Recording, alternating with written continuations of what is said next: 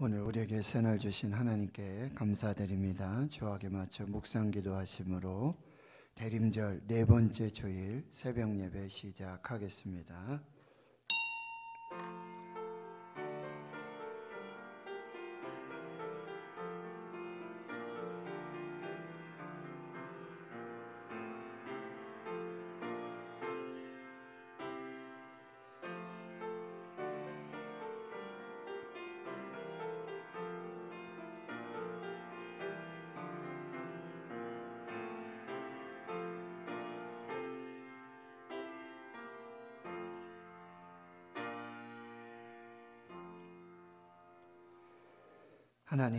감사합니다. 오늘도 새날 주시고 새 생명 주심 감사합니다.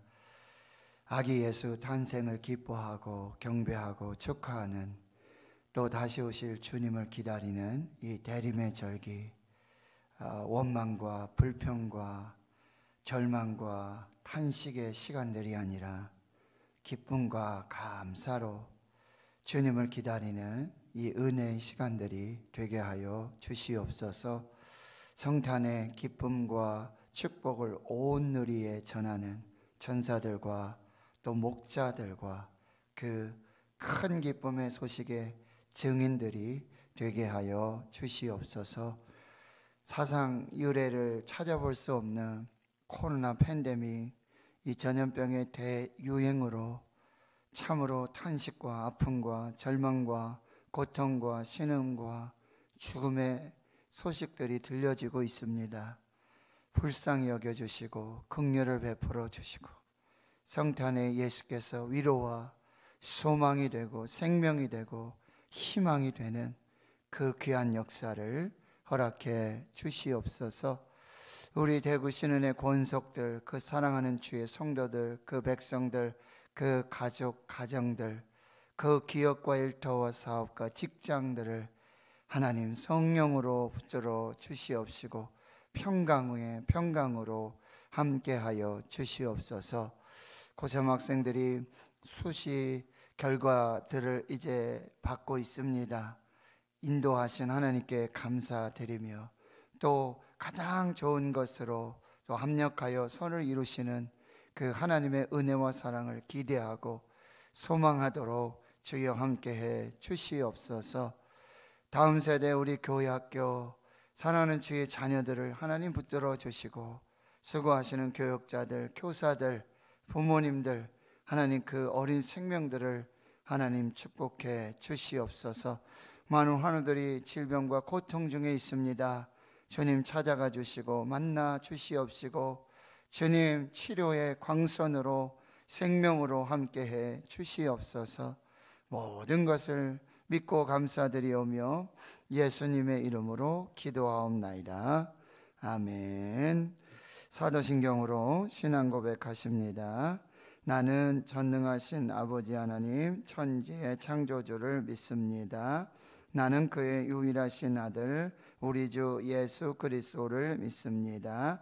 그는 성령으로 잉태되어 동정녀 마리아에게서 나시고 본디오 빌라도에게 고난을 받아 십자가에 못 박혀 죽으시고 장사된 지 사흘 만에 죽은 자 가운데서 다시 살아나셨으며 하늘에 오르시어 전능하신 아버지 하나님 우편에 앉아 계시다가 거기로부터 살아 있는 자와 죽은 자를 심판하러 오십니다. 나는 성령을 믿으며 거룩한 공교회와 성도의 교제와 죄를 용서받는 것과 몸의 부활과 영생을 믿습니다. 아멘. 찬송가 112장입니다. 112장입니다.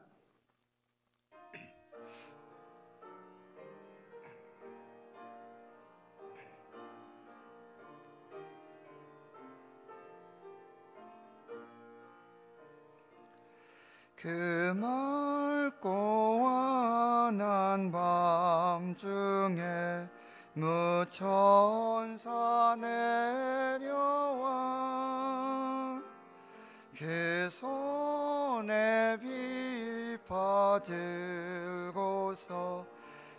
다 찬송하기를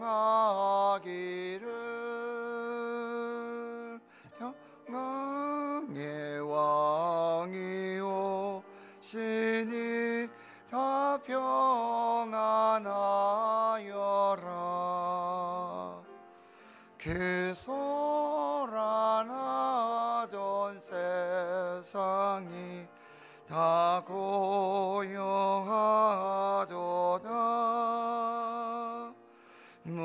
천사 날개 펴고서 이 땅에 내려와 그때에 부른 노래가 또다시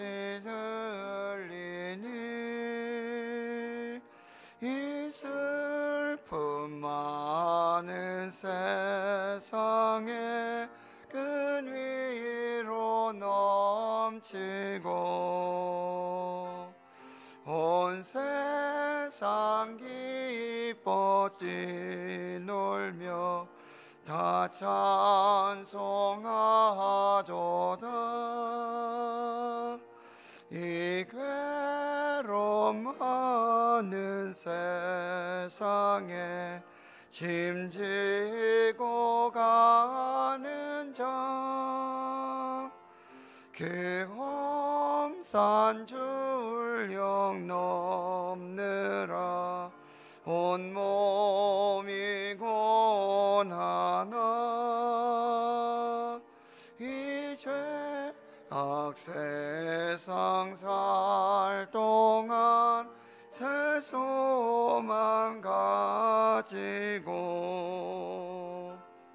저 천사 기쁜 찬송을 들으며 쉬어라. 예선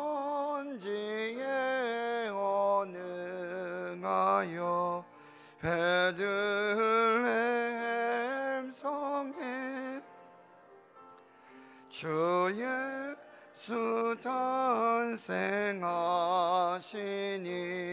온 세상 구주라 저저 사 기쁜 노래를 또다시 부르니 온 세상 사는 사람들 다 화답하도다 아멘 하나님께서 이 새벽에 주시는 생명의 말씀 예, 구약 성경 욥기 37장입니다. 예, 구약 성경 798페이지 욥기 37장 1절에서 13절까지 말씀입니다. 구약 성경 욥기 37장 1절에서 13절까지 말씀 함께 하나님 말씀 봉독하겠습니다. 시작. 이로 말미암아 내 마음이 떨며 그 자리에서 흔들렸도다. 하나님의 음성 곧 그의 입에서 나오는 소리를 똑똑히 들으라. 그 소리를 천하에 펼치시며 번갯불을 땅 끝까지 이르게 하시고 그 후에 음성을 바라시며 그의 위험찬 소리로 천둥을 치시며 그 음성이 들릴 때에 번개를 멈추게 아니하시느니라 하나님은 놀라운 음성을 내시며 우리가 헤아릴 수 없는 큰 일을 행하시느니라. 눈을 명하여 땅에 내리라 하시며 적은 비와 큰 비도 내리게 명하시느니라. 그가 모든 사람의 손에 표를 주시어 모든 사람이 그가 지으신 것을 알게 하려 하심이라. 그러나 짐승들은 땅 속에 들어가 그 처소에 머무느니라 폭풍우는 그 밀실에서 나오고 추위는 북풍을 타고 오느니라. 하나님의 입김이 얼음을 얼게 하고 물의 너비를 줄어들게 하느니라. 또한 그는 구름에 습기를 실으시고 그의 번개로 구름을 흩어지게 하시느니라.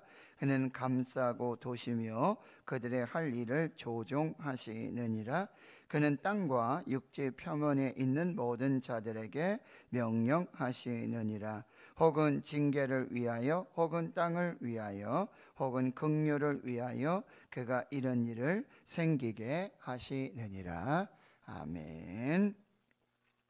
오늘 본문 말씀 욥기 37장 1절에서 13절의 말씀. 여러분 2절에 보면 엘리호는 이렇게 말합니다. 하나님의 음성 곧 그의 입에서 나오는 소리를 똑똑히 들으라. 하나님의 음성을 똑똑히 들으라. 하는 말씀의 제목으로 하나님 은혜를 나누도록 하겠습니다. 지금 욥의 친구도 아니지만 이제 그 욥의 고난의 현장 그 속에 함께 욥의 세 친구들의 이야기 또 욥의 이야기를 듣고 있었던 엘리후라는 젊은 사람이 있었습니다. 그 사람이 이제 입을 열어서 말하기 시작합니다. 32장에서 오늘 37장까지 쉬지 않고 네 번에 걸쳐서 계속해서 지금 아, 욥에게 또 친구들에게 지혜 말들을 말하고 있는데요. 어, 하나님의 음성을 똑똑히 들으라. 여기에는 이제 말씀하시는 하나님 이게 전제되어져 있고요. 그리고 하나님의 말씀을 똑똑히 분명하게 들어야 한다라고 하는 그런 전제 의미가 있습니다. 엘리우는 지금 어떤 자연의 그런 현상들, 자연의 계시들, 이 일들을 통해서 하나님께서는 분명하게 메시지를 주고 계신다. 하나님이 이 천지 우주 만물을 창조하셨고 그것들을 다스리시고 통제하시면서 이 자연 우주 만물에 일어나는 모든 현상들 그 원인들이 하나님께 있고 그리고 하나님은 그 자연 현상들을 통해서 분명하게 말씀하시고 메시지를 주신다. 사인을 주신다. 라고 하는 그런 메시지들이 이 안에 있게 되어지는 것이죠. 마태복음 24장의 말씀을 보면 제자들은 이제 아, 예수님과 함께 이제 마지막 한 주간을 지내기 위해서 예루살렘에 들어가 계시는데 하루는 이제 예수님이 그 예루살렘 성전을 대하여서 이 맞은편에 감남산 거기에 이제 예수님과 제자들이 함께 앉아 있게 되고 이렇게 모임을 하게 되는데 그때 제자들이 예수님께 묻습니다. 예수님 마지막 날에 어떤 징조가 있고 어떤 사인이 있고 어떤 메시지가 있겠습니까? 라고 이렇게 질문을 하게 되어질 때 예수님께서 24장 전체를 통틀어서 그 마지막 날에 있을 징조와 환란, 자연 천지 우주 만물의 어떤 변화와 징조들 그리고 특별히 적 그리스도들이 나타나게 되고 거짓 선지자들이 나타나게 되어지고요. 그리고 무화과 나무의 비유를 배워라. 가지가 연하여지고 잎이 무성하게 되어지면 여름이 가까운 줄 아는데 여름이 지나면 이스라엘 절기상 이스라엘의 어떤 그런 시간 이거를 설정할 때 여름이 지나면 바로 가을이 되는데 가을이 신년이 되고 신학기가 되는 미국도 그렇게 되어지지 않습니까? 그런 것들을 보면서 너희들이 천지 모든 우주 만물 이 모든 것들은 분별할 수 있으면서 어떻게 하나님의 때를 분별하지 못하느냐? 노아의 때와 같이 시집가고 장가가고 그 일상의 삶을 하지 말라는 얘기가 아니라 그 삶 속에서 주님이 오고 계시고 마지막 때가 임하는 것을 깨닫지 못하는 많은 사람이 있을 것이다. 하나는 이렇게 남겨둠을 당하고 하나는 데려감을 당하고 맷돌을 돌리다가 밭에 가서 일하다가 이런 일들이 일어나게 될 것이라고 말씀하고 계시는 거죠. 그런데 그 때와 그 시는 아무도 모른다. 오직 아버지만 아신다. 그러니 깨어 있어라. 준비하고 있어라. 청성된 종들은 주인이 일을 시키고 밖에 다녀 돌아오는 그 시간에 자기 맡겨진 일을 충성스럽게 부지런히 열심히 하고 있는 것을 보면 주인이 언제 돌아올지 모르지만 돌아와서는 그 착한 종들, 충성된 종들을 칭찬하게 될 것이다. 그러면서 이제 25장에 여러분 유명한 달란트 비유가 시작이 되는 거예요. 열처녀 비유가 시작이 되어지는 것입니다. 지금 우리는 마지막 때를 살고 있는 것이 분명합니다. 금요일에도 말씀드렸지만 여호와께로 돌아오라. 스가랴 선지자 이렇게 말해요. 너희가 여호와께로 돌아오라. 그리하면 여호와께서 너희에게서 너희에게로 돌아가리라. 이런 말씀이 있습니다. 여러분 지금 이 시대를 우리가 분별할 수 있는 영적 분별력 이 지혜가 있어야 될 것이고요. 자연 우주 만물 아침에 해가 붉고 아침에 바람이 불고 하면 여러분 아, 비가 올 것 같고 어? 비, 어, 뭐 제비가 낮게 날면은 비가 오고 뭐 제주도에 뭐 지진이 있었는데 무슨 뭐 물고기들은 뭐 알았는지 뭐 많이 잡히고 뭐, 뭐 이런 뉴스도 나오고 있지 않습니까? 막 토네이도 지진이 나고 그러면 그런 뭐 짐승들은요 막 얼마 전부터 막 이동을 막 하게 되어지고 막 준비하는 이런 것들이 나중에 이제 과학적으로 발견이 돼 가지고 이런 뉴스 메시지들이 우리에게 있는 것을 보게 됩니다. 근데 참 만물의 영장이라고 하는 사람들은 인간들은 너무나 참 교만하고 분별하지 못하고 자기 생각만 하고 한치 앞을 내다보는 이 인생들, 이 허망함들을 그렇게 쫓고요. 바벨탑을 쌓으며 교만하면서 하나님을 떠나서 불신앙하고 우상을 섬기면서 해와 달과 별들을 섬기고 너희는 절대 우상 만들지 말고 나 외에 다른 신 섬기지 말고 내 이름을 망령되이 일컫지 말라라고 하는 이런 계명과 이런 말씀을 받으면서도 그런 어리석은 자들이 바로 우리 사람 인간들이라고 한다는 거예요. 그래서 여러분 하나님의 음성 곧 그의 입에서 나오는 소리를 똑똑히 들으라. 하나님은 말씀으로 천지를 창조하시고 지금도 우리에게 말씀하십니다. 귀 있는 자는 들으라. 예수님께서 계속해서 하신 말씀. 비유를 들어서 하신 말씀. 귀 있는 자는 들으라. 귀 있는 자는 들으라. 계시록의 2장과 3장에 여러분 일곱 교회에 하나님의 이제 사자 사자 요한을 통해서 성령의 음성들이 교회에 들려지는데 귀 있는 자들은 성령이 교회들에게 하시는 말씀을 들을지어다. 교회는 여러분 이런 건물의 교회 그리고 믿는 성도들이 바로 교회죠. 그리고 그 성도들의 모임이 또한 교회예요. 에클레시아. 그러니까 마지막 때도 하나님께서는 성령을 통해서 말씀하시는 거예요. 교회에서 계속 말씀하시는 거예요. 근데 그 음성을 듣지 않는다는 거예요. 일곱 교회만 주신 말씀이 아니라 그 일곱 교회는 소위 말하는 보편적 우주적인 모든 교회를 다 지금 말씀하고 있는 거예요. 모든 교회가 들어야 될 말씀이에요. 초대 교회 교회, 일곱 교회가 들어야 될 말씀이고 중세 교회가 근세 교회가 지금 현대 교회, 지금 우리 대구 신흥교회도 들어야 될 하나님의 말씀이라고 한다는 거예요. 근데 사람들이 하나님의 말씀은 안 듣고 사람의 말의 말씀만 듣습니다. 거짓 선지자들, 거짓 교사들, 이단, 사이비 이 말들은 들으면서 복음은 듣지 않으려고 합니다. 십자가의 복음, 예수 그리스도 이 말씀을 듣지 않으려고 하는 이 교만함들이 있다라고 하는 것입니다. 여러분 하나님은 자연 현상들을 통해서 계속 말씀하시고 하나님은 자연 현상들을 통해서 하나님이 어떻게 일하고 계시는지가 이 말씀에 계속해서 나타나고 있다라고 하는 거예요. 그래서 우리는 여러분 자연 속에서 분명히 친밀하게 하나님을 만날 수 있어요.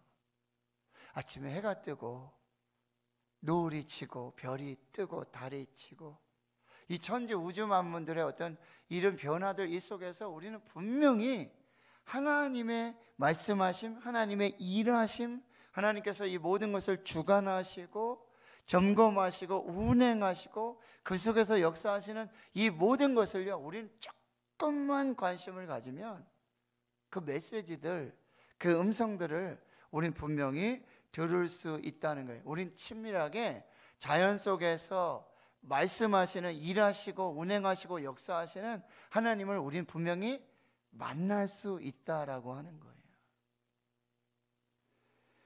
그래서 지금 하시는 말씀이 뭐냐면 어, 여러분 5절에 보면 하나님은 놀라운 음성을 내시며 우리가 헤아릴 수 없는 큰 일을 행하시느니라. 6절에 눈을 명하사 그리고요 또 비와 적은 비 큰 비도 내리게 명하시느니라. 7절에 그가 모든 사람의 손에 표를 주시어 모든 사람이 그가 지으신 것을 알게 하려 하심이라. 10절 하나님의 입금이 얼음을 얼게 하고 여러분 얼음 얼게 하는 이것을 하나님의 입금이라고 표현하고 있어요. 그 다음에 또 여러분 12절에 보면 그들의 할 일을 조정하시느니라. 이게 다 하나님이 하신다라고 하는 거죠. 그리고 12절의 끝에 가도 모든 자들에게 명령하시느니라. 예, 천둥치고 번개치고 이런 것들이 지금 다 하나님이 말씀하시는 거고 메시지를 주고 명령하시는 거고 조정하시는 거고 다 하나님의 역사하심이라는 거예요. 그래서 13절에는 혹은 징계를 위하여 혹은 땅을 위하여 혹은 긍휼을 위하여 그가 이런 일을 생기게 하시느니라. 하나님이 다 원인 제공자라는 말씀이죠. 그 이유 중에 하나는 때로는 징계를 주시기 위해서. 그러니까 노아의 홍수 같은 경우에는 심판이고 징계잖아요. 동시에 뭐요? 구원과 생명입니다. 그런 바벨탑 징계죠. 심패, 심판이죠. 동시에 구원과 생명의 역사들이 있다는 거예요. 때로는 국률, 은혜를 베푸시기 위해서 그런 일들을 다 이루어 주신다라고 하는 것입니다. 자, 첫 번째 메시지는 여러분, 천지를 분별함과 같이 이때 이 세대를 분별해라. 깨어 있어라. 영적 분별력을 가지라. 두 번째, 하나님은 자연을 통해서 말씀하시고 이 모든 자연의 우주 만물들을 운행하시고 창조하시고 조절하시고 명령하시고 그 속에서 분명히 일하시고 역사하신다. 자, 마지막 메시지는요. 그러나 자연 계시에 한계가 있다라고 하는 것입니다. 이 무슨 얘기냐면 우리에게 하나님은 특별 계시를 주셨어요. 그것이 바로 계시의 완성인 이 하나님의 말씀입니다. 하나님의 말씀으로 우리에게 분명하고 똑똑하게 말씀해 주신다는 거예요. 그러니까 시대를 분별하고 이 마지막 때를 분별할 수 있는 것도 여러분 이 말씀이 기준이에요. 캐논. 이 기준이에요. 말씀을 벗어나서는 여러분 2단이 되고 3단이 되고 사이비가 되고 거짓 선지자가 되는 거예요. 말씀으로 분별하세요. 그리고 자꾸 여러분 자연 우주 만물 이거 쫓아다니면서 막 얼마 충격적인 얘기를 듣는데요. 예, 목사님들이고 뭐 이게 예언한다고 그래 가지고 제가 한 번 두 번 말씀드렸었죠. 응? 돈 들고 찾아가서 하루 앞에 있을 거는 돈 얼마? 한 달 후에 예언해 주면 돈 얼마? 예? 1년 후 예언까지 해 주면 뭐 돈 얼마? 점쟁이 같은 목사들이 있고 점쟁이 같은 예언자들이 있다는 거예요. 근데 거기 줄 쓴다는 거예요. 목사도 가서 줄을 서고 그 직분자 서명자들도 가서 줄 서고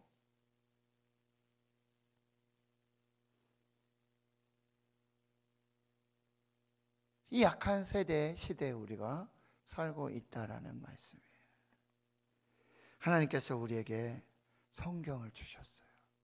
이 얼마나 귀한 축복이고 그리고요 지금 이 성경이 한글로 번역되어서 우리 말로 우리 언어로 이 하나님의 계시를 우리가 듣고 읽고 해석할 수 있다는 것. 이건 엄청난 축복입니다.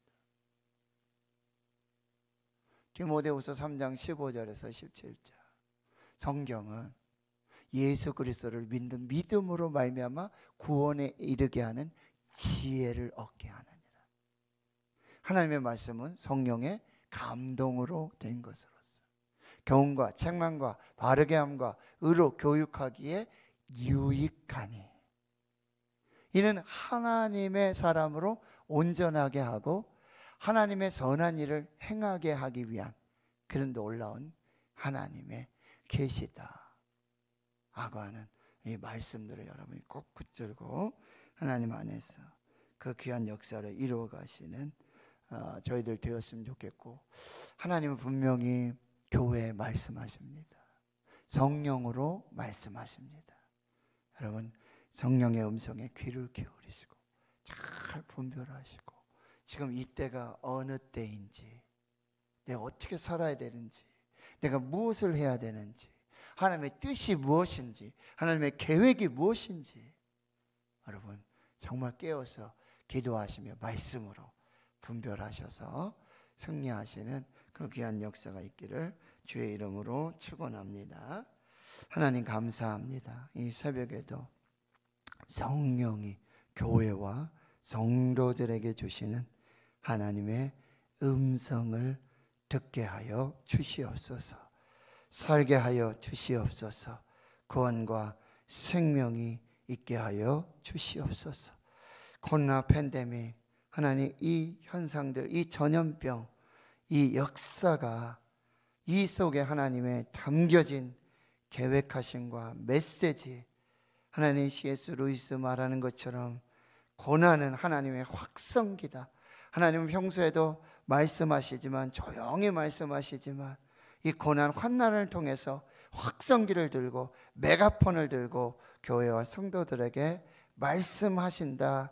말씀하십니다. 더 크게 말씀하시고 더 똑똑하게 더 분명하게 말씀하시는 하나님의 성령의 음성을 듣는 교회와 성도들이 되게 하여 주시옵소서. 하나님 아직도 우리가 자연을 숭배하면서 미신과 사이비들 거짓 선지자들 이단들 하나님 그 거짓 예언자들의 말에 솔깃하고 복음을 듣지 않고 하나님의 말씀을 듣지 않는 이 연약함들을 주의 불쌍히 여겨 주시고 긍휼을 베풀어 주시옵소서. 하나님 우리가 하나님의 말씀으로만 살게 해 주시옵소서. 감사드리었고 예수님의 이름으로 기도하며 이제는 우리 구주 예수 그리스도의 은혜와 하나님 아버지의 무한하신 사랑하심과 성령의 내주 교통 충만하심이 이제로부터 영원토록 함께 하시옵기를 간절히 축원하옵나이다. 아멘. 오늘도 우리에게 성령